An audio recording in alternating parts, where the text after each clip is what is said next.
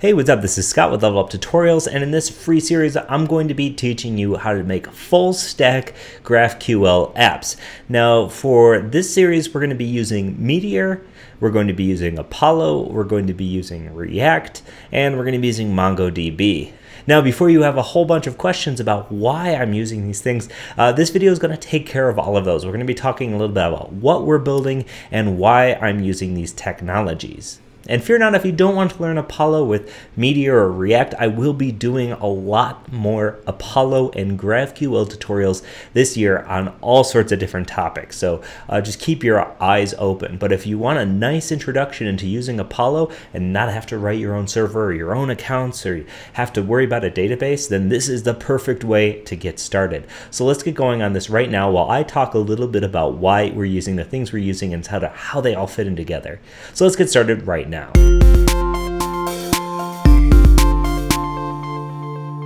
Hey, what's up? This is Scott with Level Up Tutorials, and I kind of decided to do an impromptu tutorial on something I've been working on a lot lately, which is Meteor and Apollo with GraphQL and React. And this is kind of specific stack here, but um, I'm going to go into a little bit about why I chose this stack. And if you've never worked with Meteor, don't worry. We're actually not going to be using too much of Meteor's Meteor stuff. So you might be wondering why we're even using it at all. And I'll, I'll get into that as well. Uh, but what we're going to be doing is writing an app with Meteor and GraphQL and React. Okay, so let's actually answer some of those questions before we get into any sort of code, okay? Now, I should mention if you're only interested in the Apollo stuff and you don't want to learn how to set up Meteor and React and you just want to have the app up and running, uh, go ahead and, and zoom to, I think, video number three, no, video number four, where we talk about getting set up with our API. Because uh, from that point forward, it's going to be pretty much all Apollo and React stuff. The first couple of videos are setting up, installing Meteor, going over the file structure, and then getting React up and running. So if you already know how to do all that stuff and you just want to clone the repo, go ahead and start on video number four. Okay. But the goal of this series will be to build a sort of modern full stack application where we can save things to a database and query that database and display that information in uh, our front end framework of choice. Of course, in this version, it's going to be React, but you could seriously use anything. And we're going to be using GraphQL to do that rather than well, an Express API, or uh, rather than having to set up your own database and rather than having to use Meteor's, well, I shouldn't say having to, but rather than using Meteor's tracker system. Uh, and I'm going to explain a little bit about why. So uh, let's check this out. Some of the reasons why we're using these technologies. Uh, first question why Meteor? Uh, why use Meteor at all? Um, the answer to that is, well, it makes getting started really fast. We don't have to set up a database. We don't have to set up a server. We don't have to set up an API. We just install Meteor. And out of all that, we get a free account system too. So we're going to be using Meteor's accounts system. We're going to be using the database, which is MongoDB that comes pre-configured within Meteor. And we're going to be using all of the nice server stuff that comes pre-configured with Meteor. And we're going to be using Meteor's awesome zero config build tool that gives us things like code splitting and dynamic modules and stuff like that. Okay, so that's why we're using Meteor. We're essentially using as a build tool that includes a server, a database, and user accounts. It's basically just a way to save time and not have to set all of that stuff up with any other sort of node platform.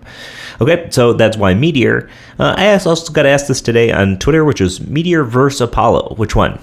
Well, I, I, like using them both together as Meteor for the server stuff and um, uh, Apollo to pull the data from the server. Now, in the future, I could see a future where you're not using Meteor at all. You're using Webpack and Express and all that sort of stuff to um, use Apollo but I think they work really nicely together. So I don't think it needs to be a Meteor versus Apollo question, but Meteor and Apollo or Apollo separately. Either way, the Apollo system for querying data is super excellent.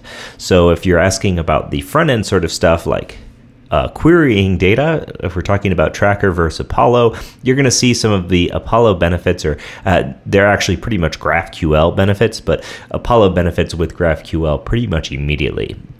Okay, so uh, I've gone over a couple of those things. Let's talk a little bit more. You're saying Meteor. Well, I don't want to include a whole bunch of stuff with my site, right? I want it to be small, and that's why I'm not going to use Meteor. Honestly, our code base is going to be very small. We're going to be using a bare version of Meteor. So the amount of stuff that is Meteor specific that is going to get loaded into your app is really minimal and not going to affect your your build size very much at all. I mean, we're going to keep it pretty lightweight here. In fact, I'm using the same stuff on leveluptutorials.com, uh, not on the production version yet, but the build times, the build sizes, and uh, the loading times are absolutely blazing fast. So no worries there. Next, uh, I want to talk about uh, why Apollo. I mean, there's other GraphQL systems, right? You could use Relay which is another system for using uh, GraphQL and JavaScript. Now, uh, I chose Apollo because it's built by the people who built Meteor and it's excellent. Um, you can see it's being used by quite a few people. I, from what I've heard, I haven't actually dove too much into Relay. I've heard Relay's a little bit tougher to pick up, uh, a little bit more opinionated, a little bit more code. Um, Apollo you know, since I do like the way the Meteor team has handled Meteor, uh, I, I figured I would like Apollo more. Apollo also includes some really cool stuff like Apollo Engine. Um, it makes it just really super easy to get up and running with GraphQL. And if you don't know what Apollo is, you'll sort of understand as we go. Next, uh, why GraphQL over Meteor Tracker? Now, this is an answer that's going to get answered as we start writing our queries and our data, but basically, it makes things like relational queries really super duper easy but it also just makes your your querying and your api overall just so much better just so much more seamless and uh, self-documenting and all sorts of great great things so i think the very first time you write anything relational in apollo you're going to be like oh this is awesome, okay? And I'm using GraphQL for all sorts of excellent, excellent things on the Level Up site that I can go into later as well. Okay, and if you're if you want to learn a little bit more about GraphQL, like what it is and why you want to use it, you'll want to head over to syntax.fm let me load that up. And if you don't know about Syntax, it's a podcast I do with Wes Bos, and our very next episode is going to be on GraphQL. I guess it's maybe not the next episode, but the next one we record, episode number 27, is going to be on GraphQL.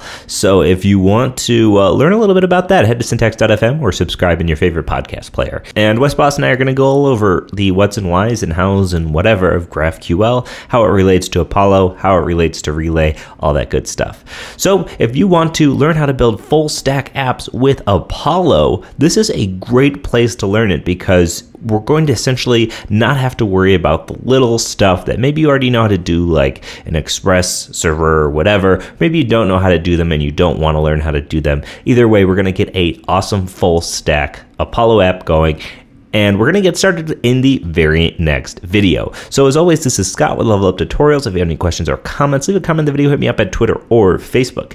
Uh, if I did not address one of your concerns here, or if you just want to tell me you hate one of the technologies you I picked in here, go ahead and leave a comment on the video. And I should mention, this is not going to be the only GraphQL or Apollo series I'm doing. I'm going to be doing some premium ones as well for Level Up Pros. I'm going to be doing some ones talking about Graph CMS, about All sorts of this stuff with GraphQL. I believe very strongly GraphQL is the future. So, so no worries uh, if you don't care about Meteor and React. Either way, if you just want to learn Apollo, this is a great place to do so because honestly, we're not going to be using a ton, ton, ton of Meteor specific stuff. Okay, so with that all said, let's get started, fire up the next video, and let's get coding.